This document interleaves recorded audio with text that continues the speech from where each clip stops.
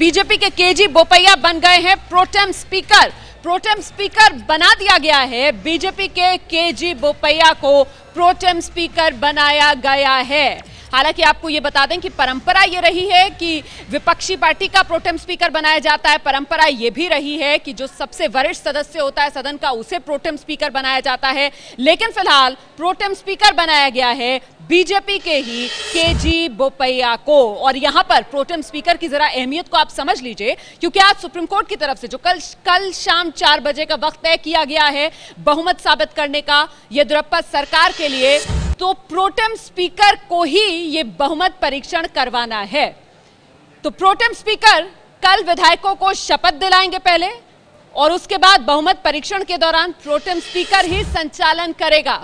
अलग से किसी स्पीकर की नियुक्ति पहले नहीं होगी, बल्कि प्रोटेम स्पीकर ही कल विधायकों को शपथ दिलाने के बाद बहुमत परीक्षण भी प्रोटेम स्पीकर ही संचालन करेंगे उसका।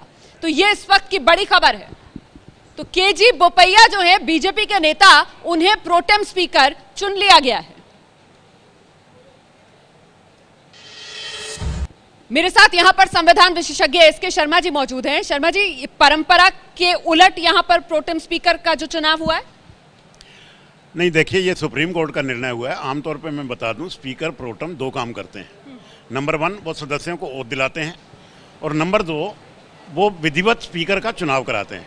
उनका तीसरा काम नहीं होता है वो हाउस की प्रोसीडिंग में प्रेजाइड नहीं करते। नहीं मैं प्रोटेम स्पीकर को लेकर आपसे सवाल ये पूछ रही हूँ कि आमतौर पर प्रोटेम स्पीकर जो है वो विपक्षी पार्टी से बनाया जाता है जो सबसे वरिष्ठ सदस्य बनाया जाता होता है वो बनाया जाता है। ऐसा कुछ नहीं है जो भी वरिष्ठ सदस्य होते हैं सदन के हाँ। तीन चार पाँच नाम सचिवालय इकट्ठे करके बता देता है ये ये वरिष्ठता क्रम है। बिल्कुल विवेकाधिकार तो यहाँ पर भी राज्यपाल का ही होता है। ये है एबीपी न्यूज़ आपको रखे आगे।